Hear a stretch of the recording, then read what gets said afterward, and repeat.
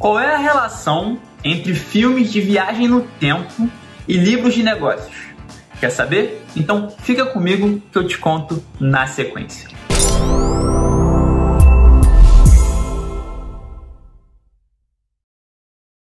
Fala galera, eu sou Arnaldo Neto, nós somos o Resumo Cast e eu tô muito, muito empolgado de falar agora para vocês de um novo quadro que estamos hoje, agora, estreando, chamado Filmes para Empreendedores.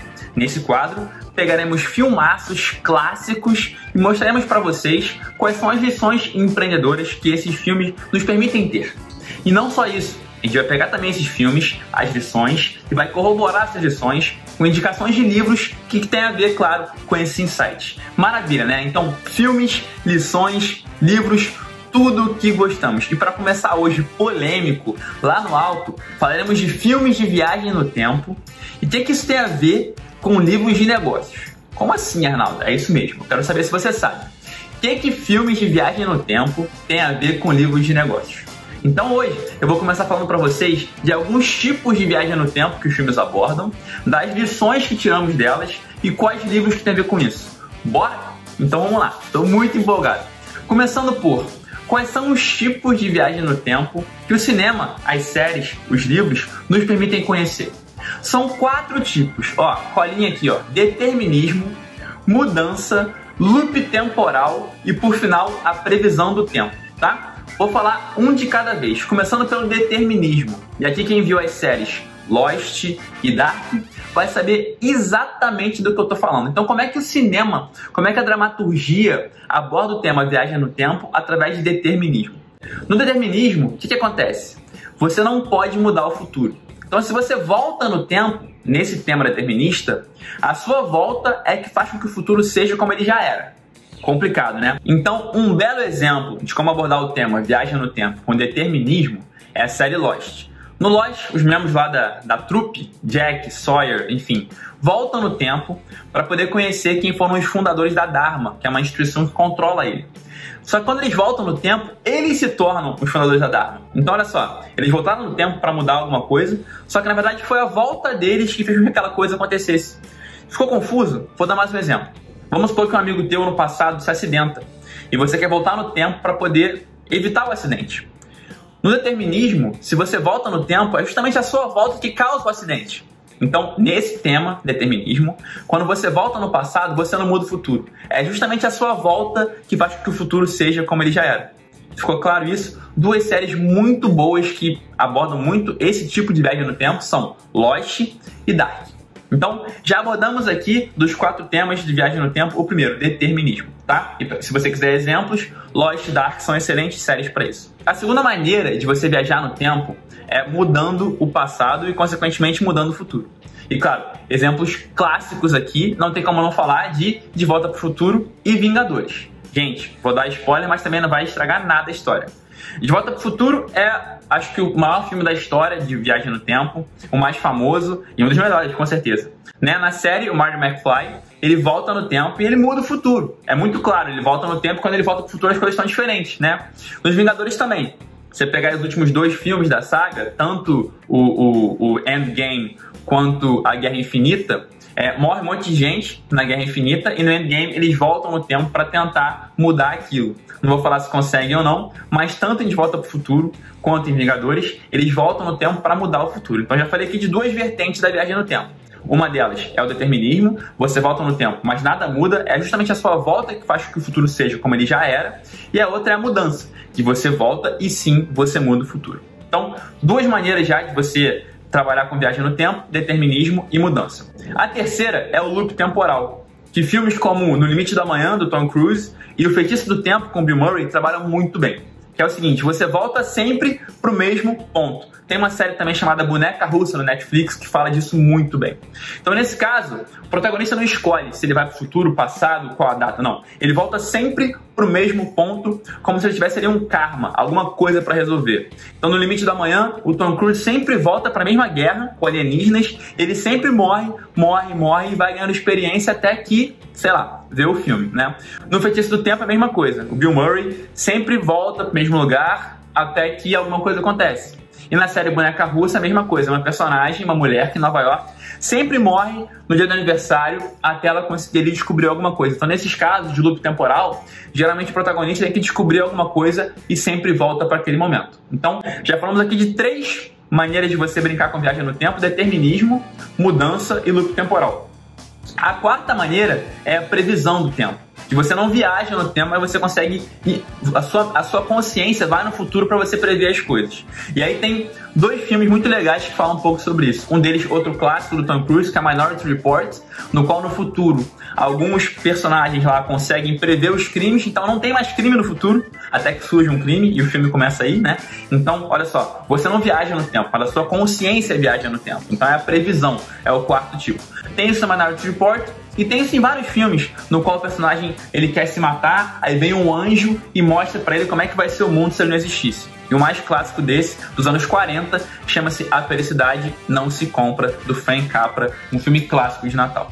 Então vou resumir aqui, gente, os quatro tipos de quais foram os filmes e séries indicados para que você possa conhecer cada um deles.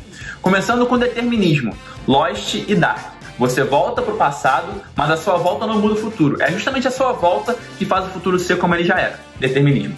Depois, mudança, de volta para o futuro. Você volta para o passado, muda as coisas, o futuro muda, ok? Terceiro, loop temporal, limite da manhã. Você sempre volta para o mesmo momento. E quarto, previsão, que é você fica naquele momento, mas a sua mente vai no futuro para você poder prever o futuro e eventualmente mudá-lo ou não. Tá? No final, eu faço aqui uma lista de todos os filmes que foram listados e falados. Então chegou a hora de responder a grande pergunta com a qual eu comecei aqui esse episódio maravilhoso. Qual é a relação entre filmes de viagem no tempo e livros de negócios? Muitos livros de negócios se utilizam do artifício viagem no tempo para fazer perguntas poderosas. Vou falar aqui de três que fazem isso. O livro Ask More, que já resumimos, o livro Caminho do Artista, que também já resumimos, e o Vivendo de Propósito, meu livro, que também já resumimos. Então, como é que esses livros usam da viagem no tempo para fazer perguntas poderosas, perguntas empreendedoras, perguntas de negócios. Eles brincam com o seu futuro e com o seu passado para te transportar para o mundo de possibilidades para que você possa pensar fora da caixa. Começando pelo Ask More, do Frank Sesno, algo como Pergunte Mais em português. Tem uma pergunta muito poderosa que ele faz que é o seguinte: Imagina que em cinco anos tudo que você espera da vida tenha dado certo. Como é que é um dia inteiro seu nessa realidade? Olha que interessante como ele brinca com o tema viagem no tempo e te faz uma pergunta muito poderosa para que você possa manifestar o seu futuro e ter mais clareza. Vou repetir a pergunta, responde aí. Como é que a sua vida daqui a cinco anos, se tudo que você espera do futuro de fato acontecer? Como é que é um dia inteiro seu nesse futuro ideal? Essa é a pergunta poderosa do livro Ask More, que tem a ver, claro, com viagem no tempo. Agora, como é que o livro Caminho do Artista brinca com viagem no tempo? Ele brinca de duas maneiras. Uma delas é se a sua criança de 5 anos pudesse olhar para você hoje e te dar um conselho, qual seria? Essa pergunta é muito interessante, porque com 5 anos você tinha vários sonhos, ambições, várias artes desfrutando ali, brotando de você, e você eventualmente deixou alguma embora, né? Eu, por exemplo, adorava cantar e dançar, e eu parei de fazer isso. Então, certamente, minha criança de 5 anos falaria: Pô, Arnaldo, você podia cantar e dançar um pouquinho mais, né? Porque eu adorava fazer isso e você esqueceu de mim. Olha que interessante. Então, a pergunta do caminho do artista, primeira é: o que a sua criança de 5 anos aconselharia para você se ela te visse hoje? E a segunda é: o que a sua versão do futuro já conquistou tudo que você imagina que a vida pode te oferecer, voltaria no tempo hoje para te aconselhar? Então, o que a sua versão do futuro que já conquistou tudo que você espera, espera da vida, voltaria hoje no tempo para te aconselhar? Então, imagina que você está em casa agora, entra lá o seu eu do futuro. Ai meu Deus, a gente dá um conselho para que você possa ser quem você merece ser. Que conselho é esse? Bom, já falei como é que o livro Ask More brinca com o tempo e também como o livro Caminho do Artista. E por fim, meu livro, Vivendo de Propósito. Tem a brincadeira da foto do quebra-cabeça, né? Que é o seguinte: uma criança de 3 anos começa a montar um quebra-cabeça com 10, 20, 30, 40, 50, ela não termina e morre com as peças na mão. Por quê? Porque ela não tem a imagem do quebra-cabeça. Quando você vai montar um quebra-cabeça, tem que ter a imagem, e sem imagem você não tem nada. Então eu te pergunto agora: qual é a imagem do seu quebra-cabeça? Feche os olhos. Qual o momento que, se um dia acontecer, ó, viagem no tempo, futuro, muda a sua vida para sempre? Sabe qual é o meu? É, ó, eu tô aqui de olho fechado imaginando eu num set de filmagem produzindo um filme baseado num livro meu. Já pensou? Ou documentário que une minhas paixões de de livros, cinema, assim como esse episódio, né? Então, o meu futuro, minha foto do quebra-cabeça é no futuro poder unir livros e filmes, assim como eu tô fazendo agora com você nesse episódio. Então, galera, resumindo tudo, o que, que os filmes de viagem no tempo têm a ver com livros de negócios? Tudo! Os livros de negócios utilizam esse artifício para você poder ir no passado e no futuro e tentar ir no mundo de, de, possibilidades e criatividade no qual tudo que você imagina possa acontecer. Então, o que, que eu te sugiro? Assiste os filmes que eu falei aqui, responde as perguntas e certamente você vai ter muito mais clareza. Então, só para resumir tudo que eu falei aqui hoje, vamos lá. Rapidamente, quatro tipos de viagem no tempo: determinismo, mudança, loop temporal e previsão. Determinismo, você volta para o passado, mas você não muda as coisas. É a sua volta que faz com que as coisas sejam como foram. Indicações nesse tema, Lost e Dark. Depois, mudança. Você volta para o passado e de fato muda as coisas. Indicações nesse tema, De Volta para o Futuro e Vingadores.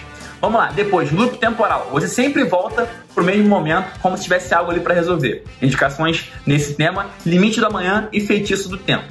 E óbvio, a previsão. Você fica no presente, mas a sua mente vai para o futuro e você vê como é que vai ser o futuro. Indicações nesse tema.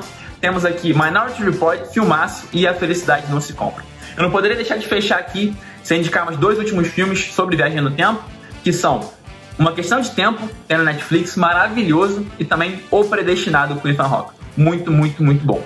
E os livros que eu falei aqui foram O Caminho do Artista, Pergunte Mais e Vivendo de Propósito. Então, assista filmes de viagem no tempo, mas não fique ali só como um espectador passivo. Fique ativo, ativa, imaginando como é que a sua vida pode ser no futuro e, consequentemente, o que, é que você pode fazer hoje no presente para mudar isso.